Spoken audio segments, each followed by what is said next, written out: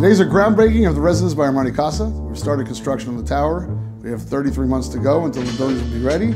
We are currently over 60% sold. Um, we have more than $600 million in sales.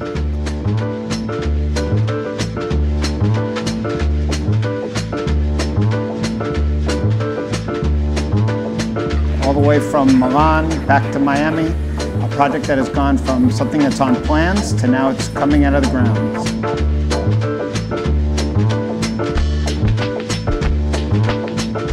We're excited that the uh, Cesar Pelli creation is going to start taking its shape.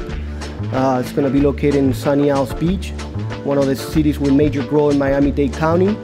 That's going to bring different dimensions to the city of Sunny Isles.